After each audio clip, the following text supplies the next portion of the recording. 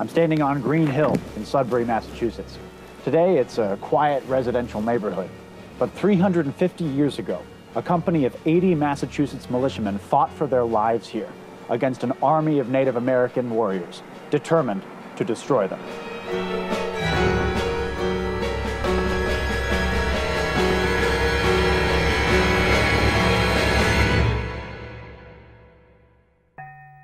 I have a special interest in this battle because it was fought just a few miles from where I grew up, in Wayland, Massachusetts. For the past several years, I've been fascinated by King Philip's War, but when I was a kid, I had no idea a battle was fought in my hometown. And it's no wonder.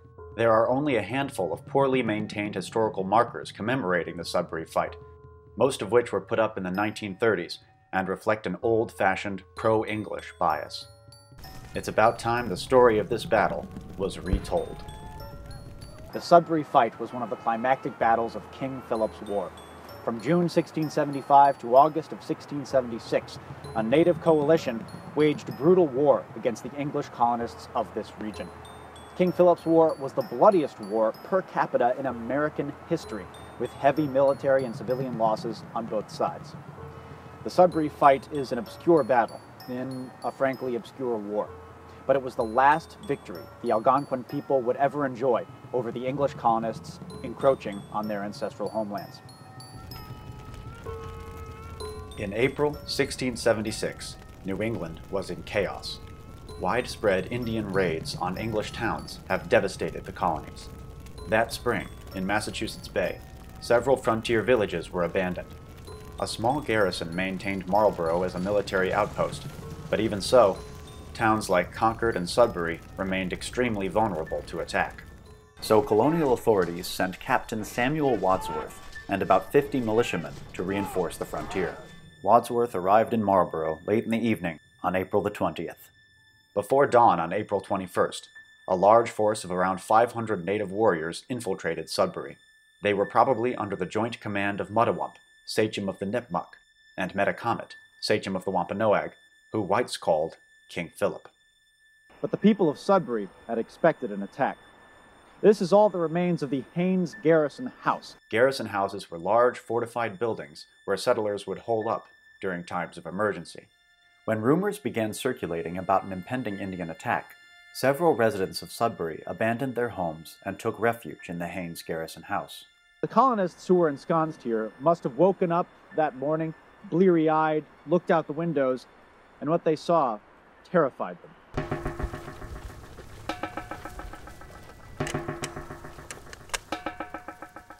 Here, just where the road is today, were several dozen ferocious Nipmuc and Wampanoag warriors, silently waiting for the signal to attack. And attack they did, with volleys of arrows and musket balls. The Sudbury fight was on. But fortunately for the English, the Haynes Garrison House was an extremely good defense. I mean, it was built for exactly this type of attack. The second story had actually armored walls. And what I mean by that is that there was a wall of brick sandwiched between stout wood planking on either side. They provided excellent cover for musket fire. The men of the Haynes Garrison House would have been at the windows with their rifles. When they fired off a shot, they would hand the rifles off to the women in the back of the house, who would reload them, hand them right back, and this way, they were able to keep up a continuous rate of fire.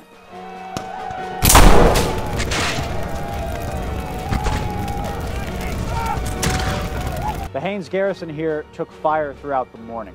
At one point, the natives filled a big wagon full of flax, set it on fire, and rolled it down this hill directly toward the house.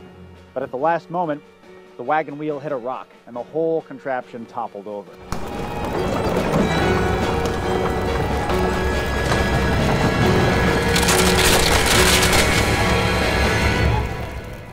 Some historians have suggested that the Haynes garrison attack was more of a feint than anything else, perhaps to draw the English militia into battle on ground of the natives' own choosing. Whether or not that was the intention, it was certainly the result.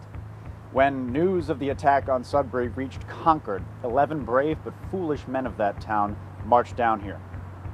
Not far from this very bridge, they were ambushed by a large force of Indians and slaughtered almost to a man. Only one of the Concord men escaped with his life.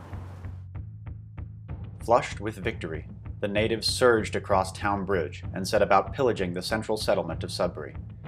But shortly before noon, more effective English reinforcements arrived.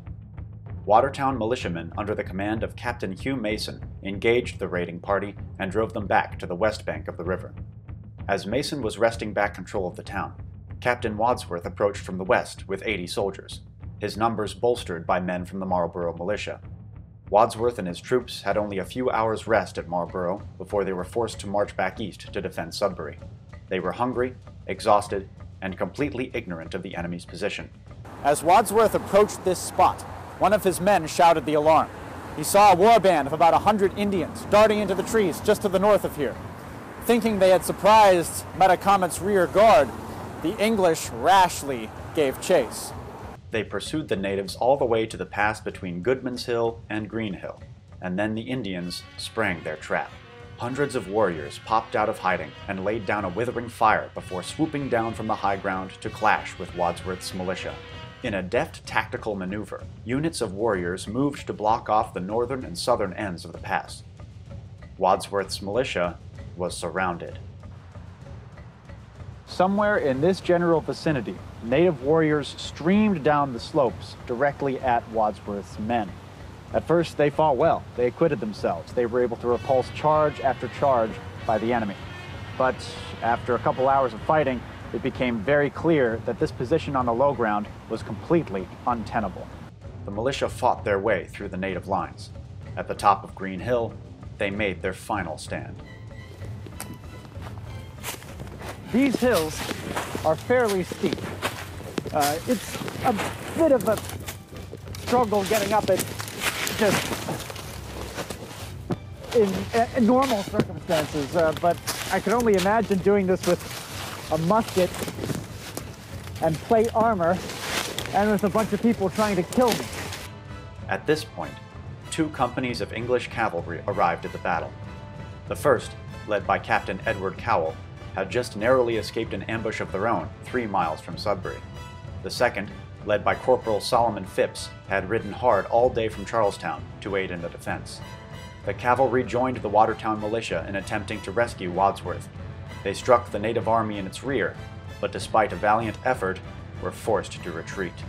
Back at Green Hill, the battle was approaching its desperate climax. Wadsworth and his men were fighting well, but more and more of them were starting to fall. Meanwhile, Metacomet and Muttawump must have known it was only a matter of time before more English reinforcements arrived. They needed to complete their victory, and soon. So they set fire to the dry brush around Green Hill.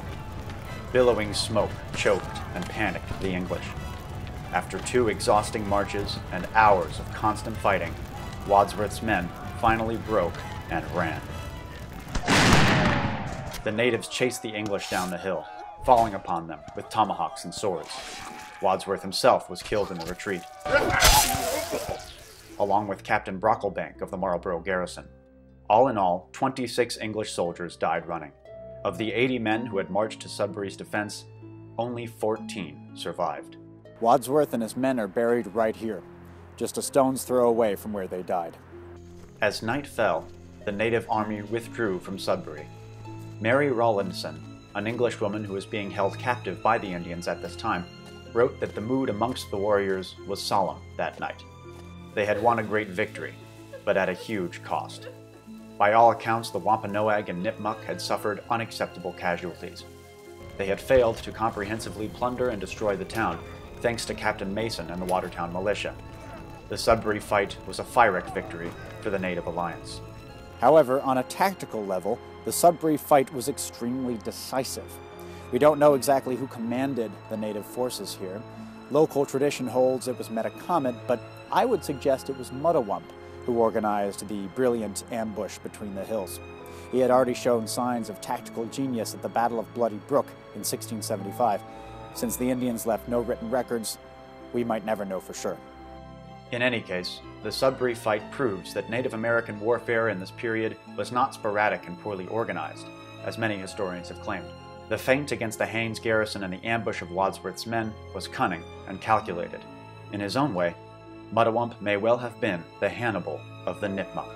This is a monument to the brave militiamen who died here, but it's also a testament to the last gasp of native resistance in this region. Four months after the Sudbury fight, Metacomet would die, and with him, native hopes for victory in King Philip's War. In my opinion, the Sudbury fight should be remembered as the Little Bighorn of the East, the last great victory of the Algonquin people.